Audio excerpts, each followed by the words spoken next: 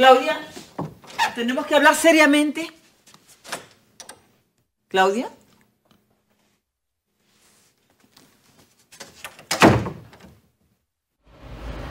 Ahora, ¿con qué cuento le saldrá Claudia?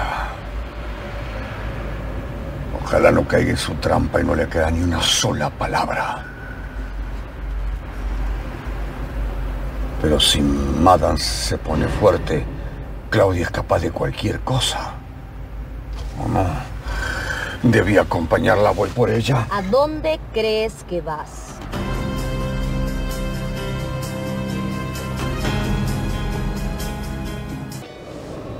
Claudia, ¿cómo entraste aquí?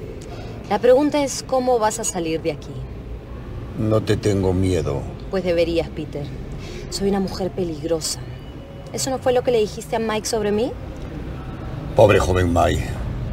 Por tu culpa renunció a la gerencia. Yo no tengo la culpa que sea un blandengue, un fracasado. Y los fracasados no pueden estar al mando de una empresa. Pero, ¿por qué lo haces? ¿Qué es lo que buscas? Así te lo explicara Peter, nunca lo entenderías. ¿Y sabes por qué? Porque eres un mayordomo, un pobre diablo que nació para servir.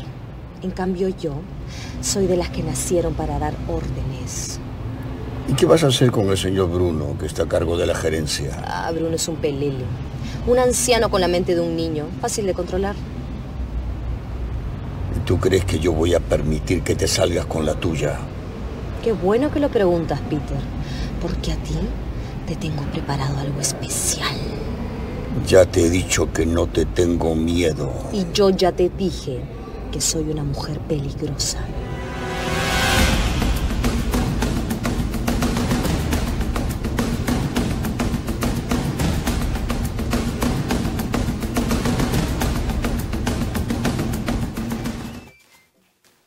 ¿Pero qué le pasa a esta chica? Quedamos en reunirnos a primera hora.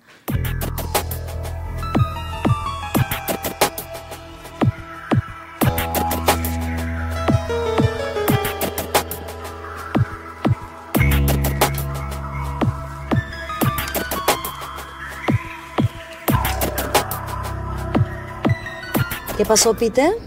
¿Ahora sí te doy miedo? Es tu patrona. Anoche me llamó para decirme que tenía algo muy importante que hablar conmigo. Dime, Peter, no habrás abierto la boca, ¿verdad? No te saldrás con la tuya, Claudia. Hmm, claro que sí. Yo nunca pierdo. Ahora quédate calladito, porque si no te vuelo los sesos. ¿Aló, señora Francesca? Claudia, ¿dónde estás? Estoy en la oficina. Ay, mil disculpas, señora Francesca. Tuve un inconveniente, pero ya termino. En diez minutos estoy ahí. Por favor, espéreme. Te espero. Ay, Peter. Ojalá que tu madam no me haga problemas. Porque si no, también me voy a tener que encargar de ella. Pobre de ti. Si le tocas un pelo. No estás en posición de amenazarme, Peter, así que cierra la boca. Te dije que no te metieras conmigo, pero no me hiciste caso. Metiste tu narizota donde no debías. Ahora, Petercito, atente a las consecuencias.